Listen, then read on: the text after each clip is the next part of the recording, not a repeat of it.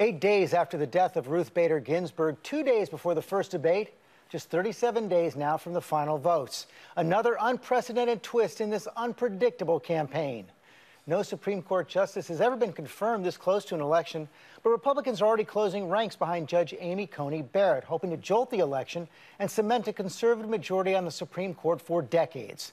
Democrats are defiant, calling the process a sham, warning that a Justice Barrett could be a mortal threat to American health care, hoping to spark their own backlash at the polls. And as we come on the air this morning, our brand new poll with the Washington Post shows a majority of Americans believe the president elected on November 3rd should fill this Supreme Court vacancy. It's against the backdrop of a presidential race that's been stable for months, with Joe Biden now holding a steady 10 point lead over President Trump. Jon Karl is at the White House this morning. And, Jon, this is President Trump's third nomination to the Supreme Court, and these court appointments are the glue that binds President Trump to Senate Republicans. George, these judicial appointments have kept Republicans in lockstep with Donald Trump, even Republicans who have deep misgivings about his personal behavior or other issues. Uh, but almost across the board, Republicans are enthusiastic about Amy Coney Barrett.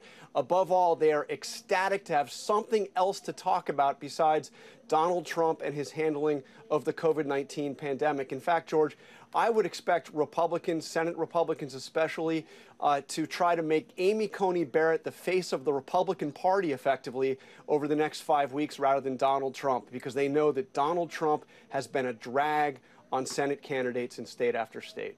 The goal is to get this done before Election Day. Any way Democrats can get it beyond November 3rd?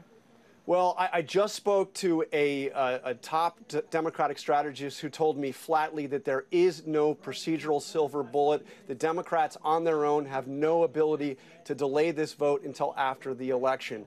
The timing is in Mitch McConnell's hands. Now, the Republicans have outlined a, a series of events which would lead to a final vote the week before the election. So there's very little uh, room for error here, but it would have to be a Republican decision. The Republicans would have to decide it is in their interest to delay. And, George, as you saw, as you mentioned at the top of the show, uh, the decision to go forward with a vote on the next Supreme Court justice before the election is a deeply unpopular one. Democrats will hit that hard over and over again between now and the election. Jon Karl, thanks very much. Let's bring in our Supreme Court analyst, Kate Shaw, now. Welcome this morning. You know, Judge Barrett clerked for Justice Antonin Scalia, and she made it very clear yesterday that she shares his judicial philosophy. What does that mean for the court if she's confirmed? You know, it is harder to imagine a starker contrast with Ruth Bader Ginsburg than Amy Coney Barrett. So, concretely, I think she would vote to overturn Roe versus Wade not just to chip away at it. I think she would vote to strike down gun regulations. And I think she could well side with the Trump administration in its efforts to have the Affordable Care Act struck down in its entirety, including the protections uh, for pre existing conditions. So I think more broadly, she would cement a rock solid conservative majority on the Supreme Court for, say, the next 30 years. By all accounts, she's a brilliant lawyer. What are likely to be the flashpoints at the confirmation hearings? You know, I think it's right. She's very well regarded, well liked. I don't think anyone's going to be able to raise issues about her qualifications, her character, her judicial temperament.